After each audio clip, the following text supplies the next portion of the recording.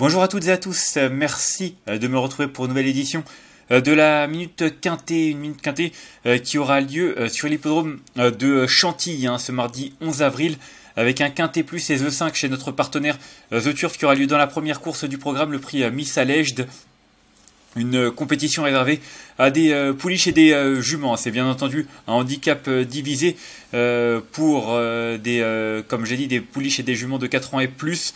il y aura 2400 mètres à parcourir sur la piste en gazon. Hein. C'est la première course de la première réunion prévue à 13h50, comme vous pouvez le voir. Un handicap qui est assez difficile à déchiffrer. Hein. C'est vrai que c'est pas forcément évident euh, de euh, trouver les bonnes clés. On va essayer de faire le papier ensemble. En tout cas, moi j'ai retenu en tête une euh, concurrente qui me semble posséder pas mal de garanties. Ce sera le numéro 14 Morizo, une jument de 5 ans qui vient de fort bien se comporter hein, pour ses premiers pas dans cette catégorie en se classant deuxième d'un quintet. voilà, sa tentative était vraiment très bonne. Elle prouvait qu'elle était compétitive en valeur 33 cette fois-ci. On fait appel à Maxime Guillon. Elle a l'as dans les stades de départ. La dernière fois, c'était 2400 mètres sur le gazon euh, de Saint-Cloud. Là, ce sera sur celui euh, de euh, Chantilly. Je pense pas que ça fasse une grosse différence. En tout cas, c'est une jument entraînée par Paul de Chevigny qui est vraiment revenu en pleine possession de ses moyens après avoir connu une absence. Et moi, j'aime beaucoup sa candidature. Je pense vraiment qu'elle a les moyens de remporter un tel handicap. Et en plus,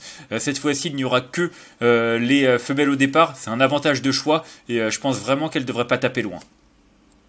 Ensuite, en deuxième position, j'ai retenu le 3, un Fresh Kiss, une Fresh Kiss euh, qui avait certainement besoin de courir. Hein. En dernier lieu, déjà, euh, c'était une rentrée, mais en plus, elle courait pour la première fois sur une piste en sable. Euh, voilà, ça peut toujours jouer des tours, hein, et c'est vrai qu'elle avait peut-être surtout besoin de courir, plus qu'elle n'était pas adaptée à la piste en sable. En tout cas, auparavant, elle avait terminé sa saison 2022 par une quatrième place dans le prix de l'élevage. Hein. Il est plus aussi important euh, que par le passé ce prix de l'élevage, mais elle avait 3 ans et elle courait contre ses aînés déjà euh, dans un quintet. Du coup, voilà, l'aptitude euh, à, cette catégorie et à cette valeur, elle l'a. Elle est capable d'affronter ses aînés, c'est pas un problème. donc voilà, beaucoup d'atouts dans son jeu. Christopher Red, c'est un homme qui est assez habile. Je pense que ça rentre en tout cas faire le plus grand bien. Et si elle affiche suffisamment de progrès sur cette tentative, à mon avis, elle est également capable de jouer les premiers rôles. Ensuite, en troisième position, j'ai tenté un petit quelque chose avec le numéro 6, un Darissi. Une Darissi qui vient d'effectuer une rentrée, hein, elle aussi. Euh, sixième, c'est bien meilleur que ne l'indique son classement. J'ai regardé, les écarts à l'arrivée étaient pas si grands que ça. Et puis c'est vrai que le lot était quand même pas mal composé. Hein. Je crois que c'était Toran Shaman euh, qui s'imposait dans cette course à condition. Donc voilà, euh, je pense elle aussi qu'elle va sans doute progresser sur cette tentative. Alors le seul petit, c'est qu'elle n'a jamais réussi à convaincre hein, dans cette catégorie. Maintenant, sa valeur n'a jamais été aussi basse. Elle est désormais en 37. La dernière fois qu'elle a couru à ce niveau, je crois qu'elle était en 39,5 en temps. Enfin bon, euh, vraiment, euh, elle ne peut rêver euh, meilleures conditions. En plus, elle sera munie de hier. donc voilà, beaucoup d'atouts dans son jeu. Je pense que cette pensionnaire de Michael Desangles est capable de remettre les pendules à l'heure et pourquoi pas de redorer son blason et de surprendre en prenant une place sur le podium. Ensuite, en quatrième position, j'ai retenu euh, le numéro 13, Aha. Alors, Aha, c'est une pouliche de 4 ans euh, qui a beaucoup progressé euh, ces derniers mois et sa dernière sortie est vraiment très très bonne. c'était dans le prix de Provence. Hein. du côté de Saint-Cloud, c'était un handicap qui était réservé aux, 4 ans, aux seuls 4 ans, mais il y avait des mal au départ, et c'est vrai qu'elle avait pris tête et corde, et elle s'est vraiment très bien comportée jusqu'au bout hein, dans la phase finale. comme je l'ai dit, le lot était bien composé, avec pas mal de, de poulains de qualité. Moi, je pense que voilà, en bas de tableau, elle a une situation qui est assez favorable. Euh, numéro 6 dans les salles de départ, c'est pas mal aussi. Elle est capable euh, de prendre des choses en main. Ça peut être euh, également un argument à faire valoir hein, pour cette pouliche de 4 ans. Et c'est vrai que malgré la présence de juments qui, qui sont peut-être un peu plus expérimentés, elle est capable de rivaliser dans cette catégorie. Ensuite, en cinquième position, euh, j'ai retenu euh, le numéro 5 hein, euh, d'Arcania, une pensionnaire de Francis Graffard qui est toute neuve. Hein. vous le voyez, c'était la moins expérimentée au départ de cette compétition. Elle n'a couru que 4 fois. Elle débute face à ses aînés et également face, pas face, mais surtout dans cette catégorie. maintenant, elle a quand même quelques références à faire valoir. Hein. j'ai vu d'ailleurs l'an passé, en fin de saison, elle avait battu notamment un certain Scotty Chantem dans une course à condition. Alors, il n'était que 5, mais Scotty Chantem a quand même gagné un quintet. il vient d'ailleurs de terminer encore une fois à l'arrivée d'un autre événement. Donc voilà, une ligne qui est quand même assez favorable, un bon numéro dans la salle de départ. Tony Picon qui lui sera associé. Attention, je pense que cette pouliche est perfectible et pourquoi pas est capable de trouver sa voie dans cette catégorie. Ensuite, en sixième position, j'ai retenu le 8 Hilarante. J'ai toujours des petits doutes avec elle. C'est vrai qu'elle n'a pas convaincu cet hiver euh, sur les pistes en gazon. Et puis, euh, retour euh, sur une piste en sable, ça lui a permis de remporter son quintet de belle manière. maintenant, elle revient sur une piste en gazon avec une valeur de 36 qui est un peu moins favorable. Mais bon, elle avait fait l'arrivée en 34, il y a 2 kilos en plus. Christophe Soumillon qui lui sera associé. C'est vrai que la dernière fois, c'était Tony Picon. D'ailleurs, je crois qu'on l'a cette course référence. C'était ici hein, le prix du net le 21 mars.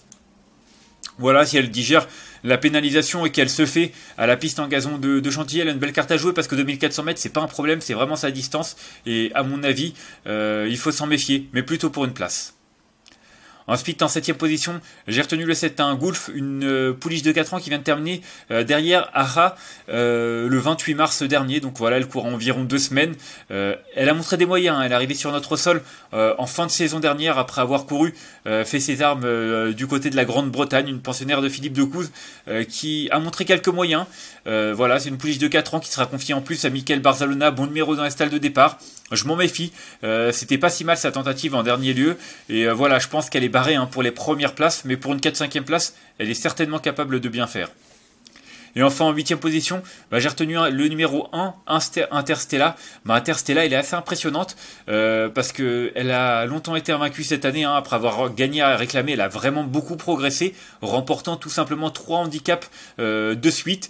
Euh, derrière, elle reste sur une cinquième place dans un nouveau gros handicap. Cette fois-ci, c'était cette fois-là, c'était un quintet. Elle courait bien à un cinquième. Je crois d'ailleurs que c'est une des courses références. Euh, voilà, a été battue par la Mandola euh, dans le prix de grâce sur l'hippodrome de Cagnes-sur-Mer.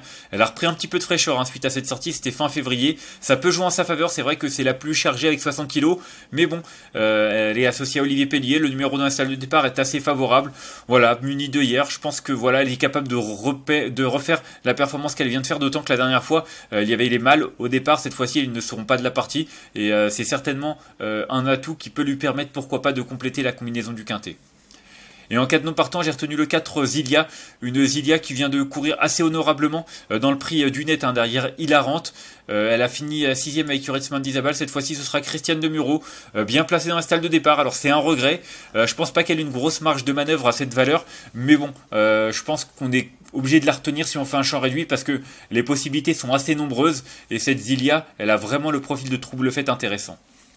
On va faire un petit récapitulatif euh, de ma sélection avec le numéro 14 euh, Morizo euh, que j'ai retenu en tête devant le numéro 3 Fresh Kiss.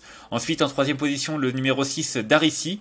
En quatrième position le 13 Aha. En cinquième position le 5 Darkania.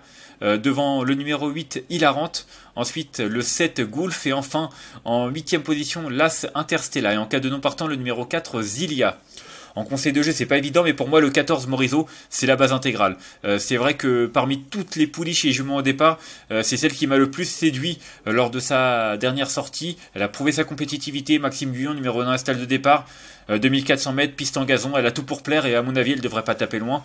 Et puis voilà derrière Fresh Kiss, à mon avis si elle, si elle affiche des progrès sur sa rentrée, Vu ce qu'elle a fait dans le prix de l'élevage, elle a largement les moyens de jouer les premiers rôles également.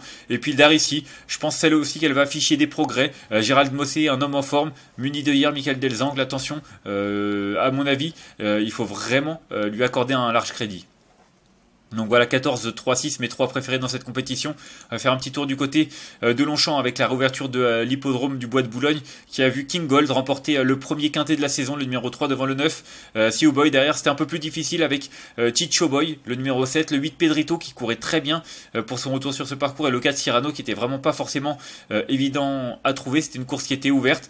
En tout cas, voilà du côté de nos deux rubriques comme vous le voyez, c'était assez difficile d'indiquer quelque chose, mais voilà, un trio, plusieurs coups de cœur euh, à l'arrivée euh, de cette euh, journée. En tout cas, vous pouvez tester nos deux rubriques à partir de 1 euro par mois. C'est l'offre découverte. C'est le premier mois et c'est sans engagement.